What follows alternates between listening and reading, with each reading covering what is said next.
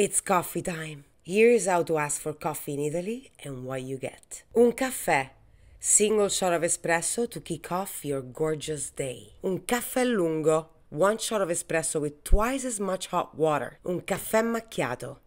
A single shot of espresso with a little foamy milk. Un caffè corretto. An espresso shot with some liquor. Mm, I love coffee. Just gorgeous.